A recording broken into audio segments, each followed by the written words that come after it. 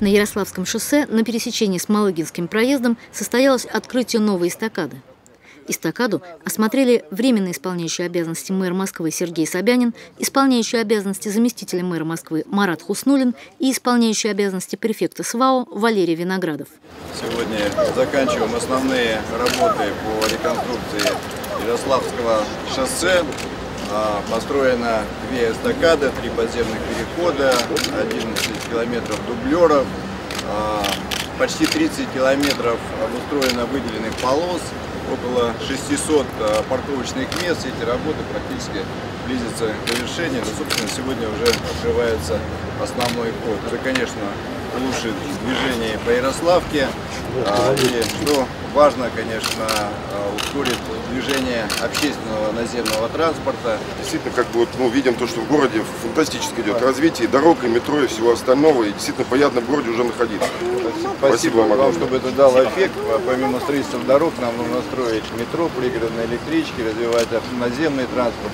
Потому что одними дорогами проблему не решишь, но и без них не решишь эту проблему. Так что всем надо заниматься одновременно вместе, чтобы они давали совместный такой хороший эффект. Ярославское направление является одним из самых загруженных.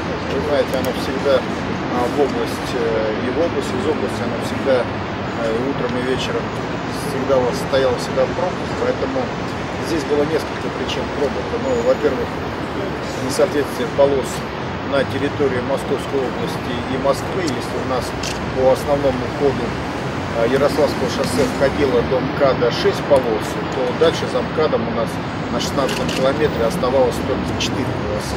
Поэтому первая задача была а, вместе с федеральным центром отработать а, синхронизации проведения работ по реконструкции Ярославского шоссе. Сергей Семенович Собянин несколько раз проводил совещание по этой теме с министром транспорта в рамках Координационного совета Московской области. И сегодня участок, который на Ярославке за МКАДом, он тоже уже запроектирован, и там приступили к реконструкции. Так, ну что, будем запускать. Спасибо вам за работу. Спасибо. Спасибо. Спасибо. Спасибо вам за терпение.